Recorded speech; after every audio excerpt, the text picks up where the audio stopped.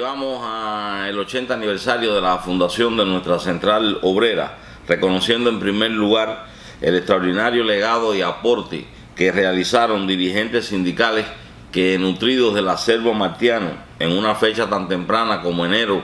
de 1939, en medio de la opresión a la que era sometido el pueblo cubano por los gobiernos de turno,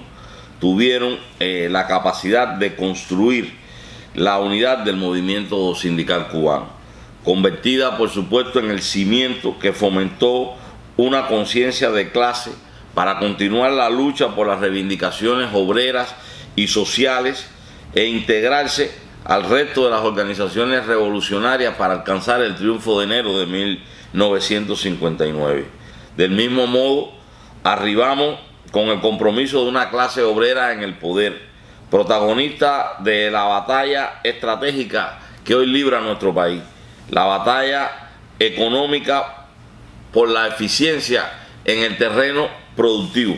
Dejamos también este aniversario en medio de un escenario laboral caracterizado por una dinámica en su composición que ha impactado la estructura del empleo en el país a partir del crecimiento y diversificación de la forma de gestión no estatal que ya hoy alcanza más de 589 mil trabajadores no estatales que representan el 13% de los ocupados en el país, un cambiante marco regulatorio y nuevas relaciones con el presupuesto del Estado. En esta celebración también coincide justamente el proceso orgánico desarrollado previo a la realización del 21 Congreso de nuestra central sindical, ejercicio que se caracterizó por un participativo debate sobre las problemáticas del mundo laboral y sindical en la que se convirtió el planteamiento más generalizado de los trabajadores, el vinculado con el déficit en la capacidad de compra del salario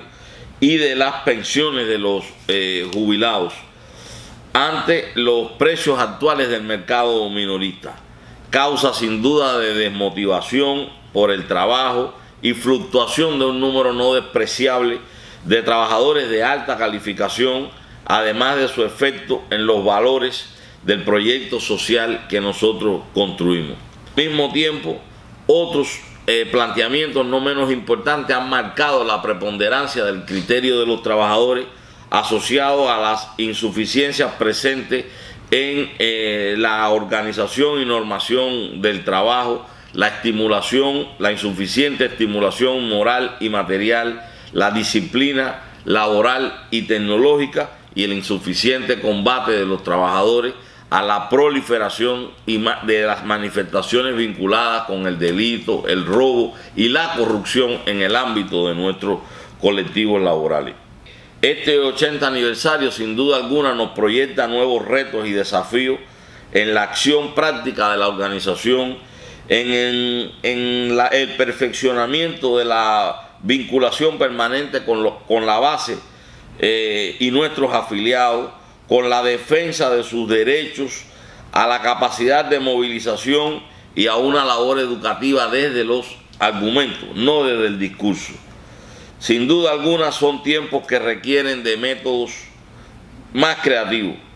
que posicionen y legitimen el papel del sindicato, despojado de formalismo y de burocracia, sustentado en el cumplimiento de los derechos que tenemos ganados en la ley orgánica eh, del trabajo. Será un espacio también, yo diría, para ratificar el carácter clasista y unitario de nuestra central sindical y su invariable apoyo a la revolución y al partido. Sin duda alguna serán cuatro días de amplio debate alrededor del mundo laboral y sindical en nuestro país, con 1.200 delegados y más de 500 invitados que traen el mandato de cada uno de sus colectivos de trabajadores pero que no son justamente la conclusión de un evento sindical, porque el proceso más importante fue el que desarrollamos abajo, en cada una de las sesiones sindical, cuando debatimos todo lo vinculado al documento base de nuestro Congreso, que logró colocar y posicionar en el debate aquellos asuntos que se convertían en los procesos sustantivos de las preocupaciones de los, de los trabajadores cubanos. Pero no tengo ninguna duda que será un Congreso exitoso y que podremos asegurar de su conclusión un movimiento sindical más consolidado, con un mayor liderazgo, un movimiento sindical que refleje cómo quieren los trabajadores que sea su sindicato y, en el que sin duda alguna tendremos que superar importantes desafíos al calor de la contextualización de las transformaciones que viene teniendo nuestro país como parte de la actualización de su modelo económico y social.